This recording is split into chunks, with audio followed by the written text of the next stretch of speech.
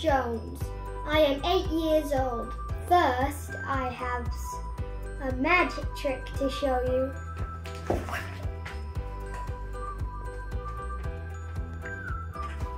It is the heart.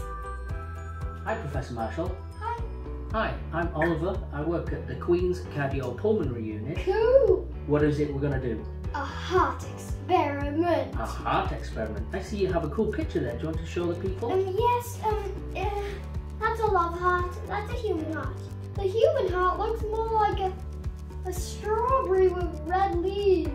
What are we going to need for our experiment? Um, Well, four straws. I mean three bottles.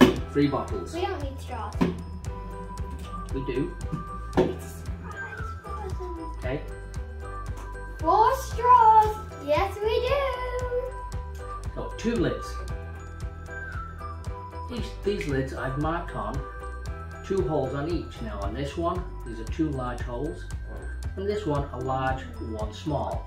Now the large holes have to fit the straw through. And what else do we need? Liquid. No, I wonder how we could do that. That. That's. Could you want to make it look like blood? Yep. Okay, Because I am the real scientist. that's true. Now in the lab, I use transfer pipettes a lot, but at home, we have a turkey baster. And you might have one too. Okay, so now we have two bottles that are around about 80% full and one that's empty. Now this liquid is red, but what does it not have in this liquid, Professor Marshall? So, the things that it doesn't have are red blood cells, white blood cells, and platelets, which form scabs. That's right, that's what platelets do. So in a heart, you have four chambers. What are those four chambers called, Professor Marshall?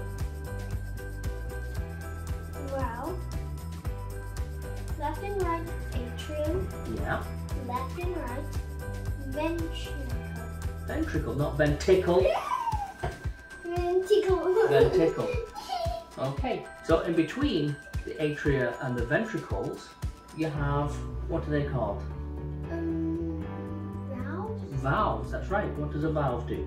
Stops the blood from going in the wrong direction. Going in the wrong direction. Okay, so the model heart that we have here, we have one atrium, one ventricle, and a body.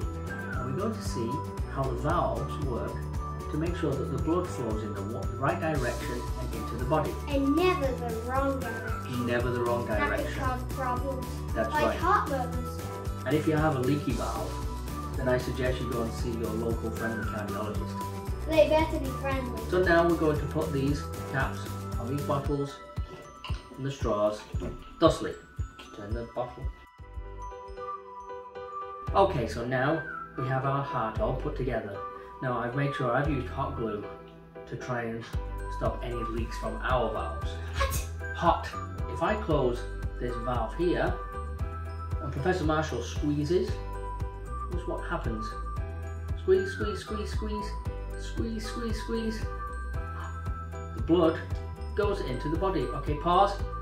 And then if I switch and close this valve and open the next one, let go.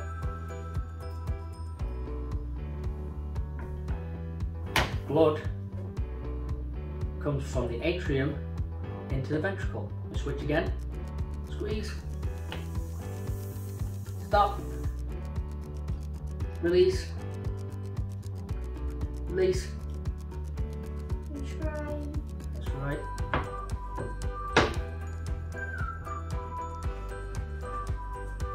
Squeeze.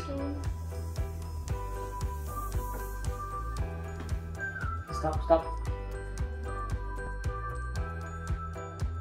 I hope you have enjoyed our experiment about the heart. Bye.